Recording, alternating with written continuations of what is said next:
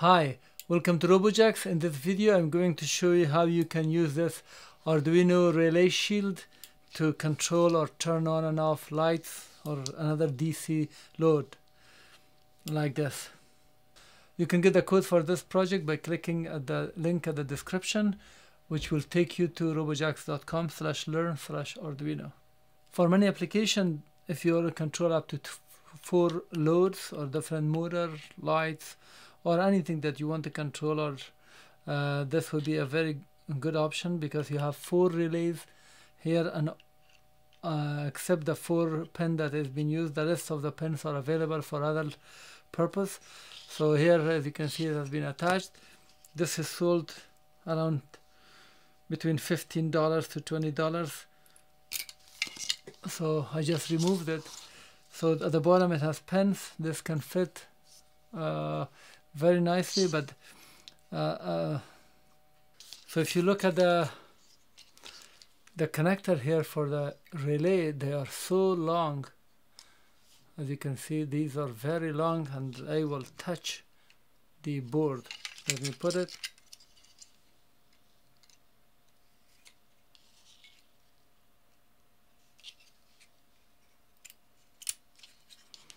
So when I insert this here. This area this is now a short circuit here. That's very bad. So I have to cut this this tree only. So the the other one is far away just the tree or touching the USB let me see if this can do it. Mm. these three here at this corner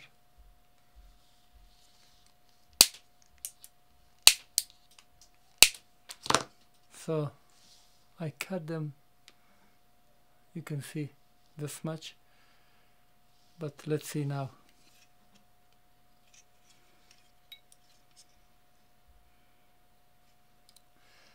Okay now this is fitting properly. It looks right. It doesn't go fully but still because this is now blocking it. So that is a determining factor how far this can go. So this will hold it and now let me see if this is clear. So I will use this paper to see. No. You can see that piece is touching this USB the metal. And a piece of business card I just cut it. I'm gonna just tape it here. So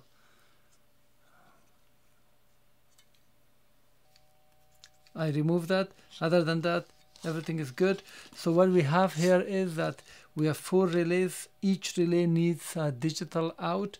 So they are connected from pin 4 to 7 4 5 6 7 so they are connected here which means these pins from 4 to 7 are occupied already. So each relay has been lab labeled clearly. As you can see relay 1 2 relay 3 relay 4 and for each relay we have three terminals here which are labeled here. So this is for relay 1 this is relay 1 and these are the connection.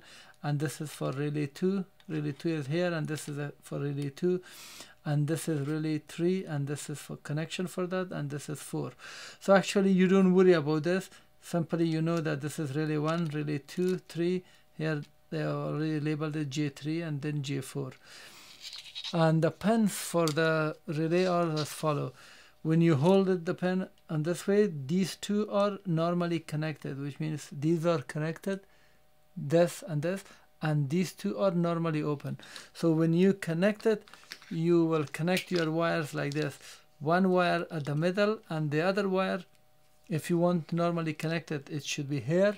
So when the relay energized or the signal comes it will be disconnected if you want it the other way or if you wanted that when the signal comes and the relay is turned on it should connect then connect it here. Meaning that the middle one never changes so you only change your wire either from here or here for different application. And the same thing for the other one. So the same thing applies here. And on this side they've labeled it in a strange way. For example this one here you see these two are connected but these two are open so there is some open spot. So this also helps connected open. So these two are connected. The middle and the right side are connected normally connected and this is normally open. Also it has been labeled here as NO3 so as you can see here it has been labeled NO3 normally open 3 common 3 so the middle is common and normally connected 3 and here also it has been labeled as uh, as you can see here as normally open 4 common 4 normally connected 4 and the same thing here which is hard to see. Yes now you can see here normally open 2 nor uh, common 2 normally connected 2 and, uh, and the same here. So internally they are connected and if you want to follow the path the path are here. So 4 5 6 and 7 all of these are connected on the other side to uh, circuitry with a transistor that can control this relay. Also we have here LEDs so this LED 1 LED 2 LED 3 and 4 they show respectively the uh, um, signal connection for each. So when relay 1 is turned on this LED also will turn on and informing you about the situation. Now I've connected the relay. If you want to know for simplicity these are the two wires that are coming to turn on the light. So if I connect this directly here this light will be on. But what I do is I put it here so when it is connected the relay will connect this wire with this. So this goes and comes back here it goes to that bulb and comes back. So this way the circuit will complete and the light will be on. So this is the code that I wrote for this.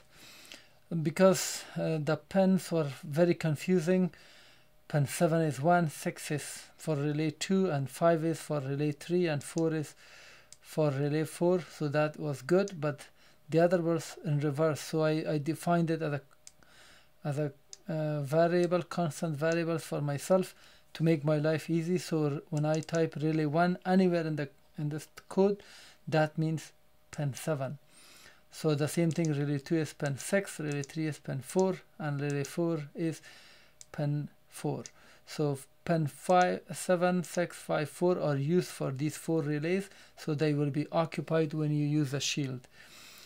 Now here on the setup, inside the setup, we have just, I put this one with 9600 baud to show the information on the serial monitor which you can click here serial monitor because now it's not connected. I got error. So here uh, I will define pin mode relay 1 so this is it says 7 so as if it I, if I type here 7 so pin mode 7 is output and then relay 2 so this is relay 2 is the output relay 3 as output relay 4 outputs. So these are those numbers. So we are defining the pins as an output. And then so now here it says keep relay make relay 3 high. So it this will turn on the relay 3 this will print the text for us. So I play it with this.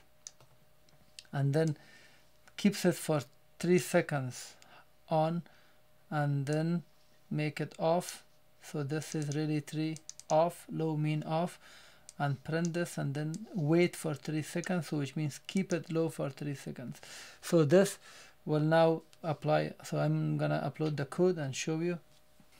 So I'm uploading the code now and you will see the text here and also you will see the activity here. So now it says relay 3 on and here this is on. Also you can see here the LED 3 is on